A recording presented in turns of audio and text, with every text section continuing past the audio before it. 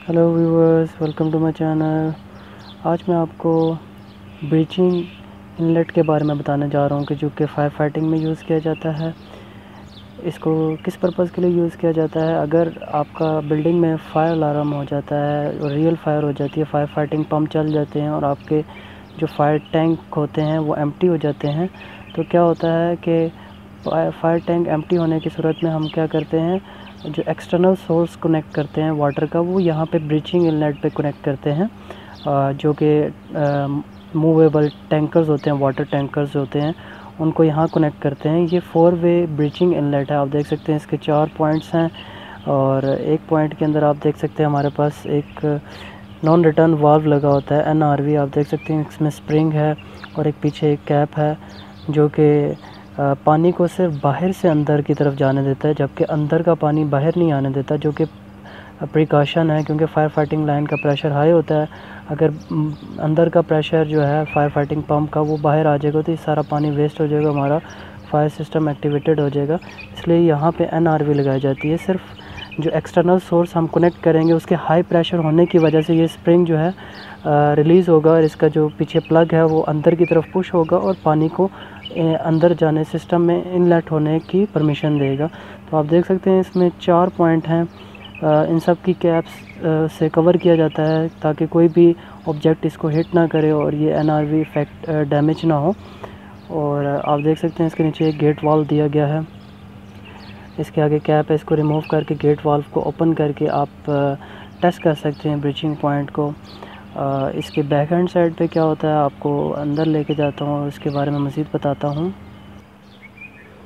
जी viewers जैसा कि आप देख सकते हैं, ये हमारा ब्रीचिंग इनलेट जो है, उसकी बैक हैंड साइड है। आप देख सकते हैं, इसमें से पाइप जो है, नीचे की तरफ़ जा रहा है और ये पाइप जो है हमारा मेन हेडर के साथ कनेक्ट होता है। उस हेडर से पहले हमारे पास यहाँ पे एन आती है। आप देख सकते हैं, हमारे पास ये एनआरवी है। डबल सेफ्टी दी गई है। बाहर भी हमारे पास जो है, जो ब्रीचिंग इनलेट है, उस पर भी एन आर वी दी है। हर इनलेट के ऊपर, चार इनलेट है फोर वे है तो हर वे के ऊपर जो है, एक एन आर वी होती है, जो कि सिर्फ़ बाहर से प्रेशर आने की सूरत में ही ओपन होती है। और जबकि आप देख सकते हैं, यहाँ हमारे पास एक और बड़ी एन आर वी लगी हुई है, जो कि सिस्टम के लिए एडिशनल प्रोटेक्शन प्रोवाइड करती है, जिसमें आप देख सकते हैं एरो की है। जो बाहर से आने वाले पानी को अंदर की तरफ़ अलाउ करता है। सिर्फ़ उसी कंडीशन में ये एनआरवी ओपन होगी, जब बाहर से बाहर से यानी कि ब्रीचिंग इनलेट पर जब एक्सटर्नल सोर्स कनेक्ट होगा हाई प्रेशर तब ये एनआरवी ओपन होगी और हमारा पानी अंदर की तरफ़ फ्लो करेगा। यानी कि हमारे टैंक की तरफ़ जाएगा और हमारे फायर फाइटिंग सिस्टम को हेल्प करेगा फायर को एक्सटिंग्विश करने के लिए। ज़्यादा देर तक टैंक पम्प चलने की सूरत में हमारे टैंक की जो जो कैपेसिटी होती है पानी की वो एक लिमिटेड होती है, ज़्यादा देर पम्प चलने की सूरत में। क्या होता है कि हमारा टैंक एम्प्टी हो जाता है। उस टाइम टैंक को इस ब्रीचिंग इनलेट की मदद से फिलअप किया जाता है या हमारे फायर फाइटिंग सिस्टम को पानी के लिए जो, पानी जो ज़रूरत होता है वो इस ब्रीचिंग इनलेट के थ्रू दिया जाता है। तो आप देख सकते हैं हमारे पास दो ब्रीचिंग इनलेट हैं। दोनों फोर वे हैं।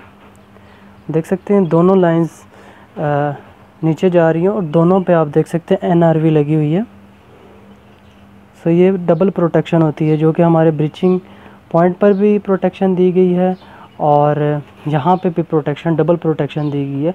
क्योंकि एनआरवी किसी भी वजह से डैमेज हो जाती है तो क्या होगा हमारा, ये लाइन ये जो हेडर है, ये चार्ज है।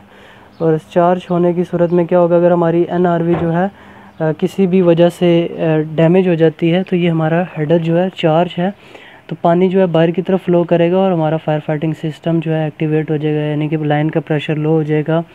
और हमारे जो पंप हैं बाई सीरीज़ लाइक जो कि पंप फ़र्स्ट स्टार्ट होगा फिर इलेक्ट्रिक पंप फिर डीजल पंप स्टार्ट हो जाएगा।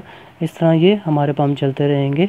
तो इसलिए डबल प्रोटेक्शन दी जाती है। यहाँ पे भी एनआरवी लगाई जाती है। आगे हमारे जो four V four way breaching inlet है वहाँ पे भी एनआरवी लगाती है लगाई दी जाती है क्योंकि ये हेडर जो है डिस्चार्ज हेडर से जो है ब्रीचिंग इनलेट तक दो एनआरवी हैं दोनों के यहाँ का पानी जो है हेडर का पानी बाहर की तरफ़ ना जाए सिर्फ़ बाहर का जो पानी है वो अंदर आए।